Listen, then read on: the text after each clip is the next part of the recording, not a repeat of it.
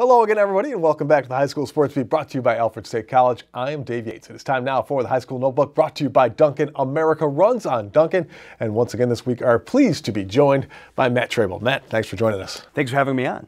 Well, Matt, sometimes you've got a player, sometimes you've got a game that kind of is the high mark of the season. I think now we might have a single shot that is the high mark of the season for basketball so far.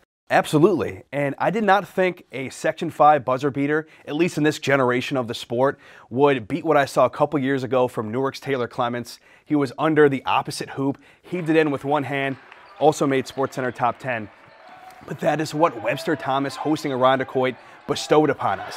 Just an unbelievable game throughout, but especially at the end of this one. And Danny Palmer from Webster Thomas, he puts the the underdogs for sure in this game in those Titans. He puts them up by a single point, but that's when everything happened. That's when Section 5 history happens, essentially. And now Connor Schaefer, the inbounds passer, he deserves a lot of love for what happened as well. He hesitates and he slings, really hums one, sidearm style to Luke Melodona, Mr. Pistol Pete, if you want to say, for all of Section 5. And he hoists one from beyond half court and in pandemonium. It beats the horn.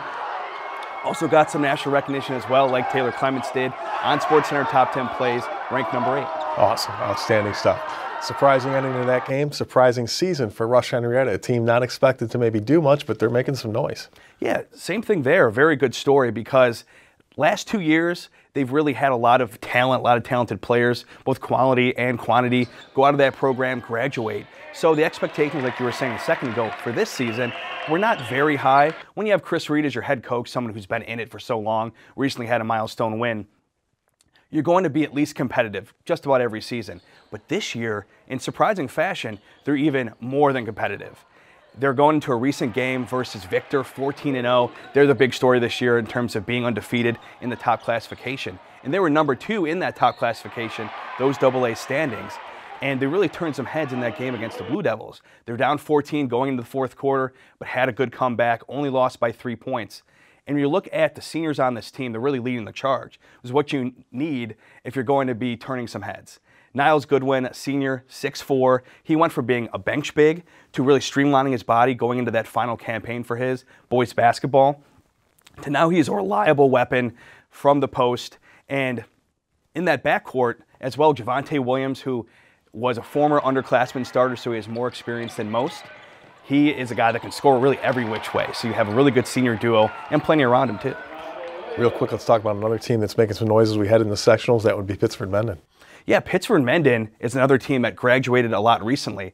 But last year, no Section 5 boys basketball team had more wins, got farther in state play than those Mendon Vikings. And then Dan Cook, the big star from last year, on a very good team, quantity wise, so he goes off to play at Hobart as part of three starters that graduated from that team. But those personnel losses have really turned the current team into an underrated force that cannot be overlooked.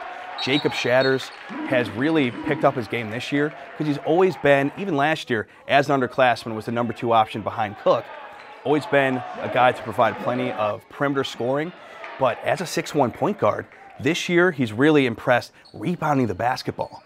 And then you throw in a freshman stud, a pivotal addition to this team, Jackson Green, the younger brother of a thousand point score for the girls program at Mendon and Lexi Green. Awesome. Great stuff. As always, Matt, thanks. Anytime you can work out the word bestow in this segment, we always appreciate that. We're back with more of the High School Sports Beat brought to you by Alfred State College right after this.